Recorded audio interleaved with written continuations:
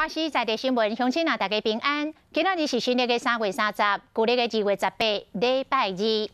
新闻的头一条来看，这个台北市的社有一栋公寓火烧厝，导火二楼这户人家是带一对兄弟啊。因做伙开店卖菜馆，甲老母相依为命。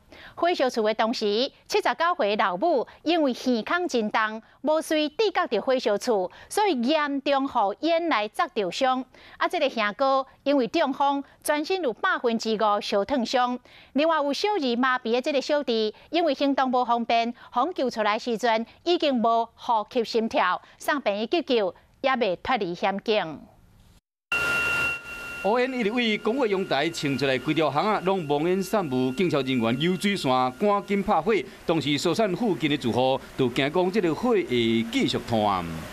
我们在现场总共救出十四名，那总共有七男七女，那疏散有四名。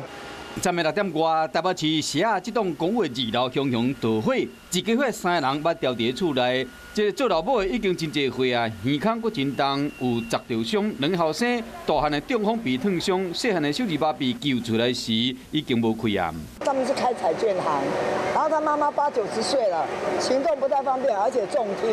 两兄弟啊，开一间菜馆行，甲老母相依为命。不过发生火烧厝的意外，母仔囝弄受伤，这个细汉的还未脱离险境。上桥火调科已经去到现场，要调查导火原因。